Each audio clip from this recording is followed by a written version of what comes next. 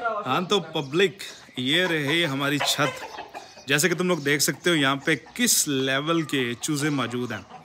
यहाँ पे हमारे पास एक अदद एस्ट्रोलॉप जो ऊपर खड़े होकर चिल्ला रहा है। उसको लग ये रहा है कि जैसे हमने उसको पकड़ के उसके साथ कर लेनी है थोड़ी बहुत ज़्यादती और दूसरे ही पिंजरे पे, वो एस्ट्रोलॉप की बीवी है। ये इसकी बेसिकली तुम कह सकते हो ये इसकी रानी है। और एस्ट्रोलॉप है राजा यहाँ का।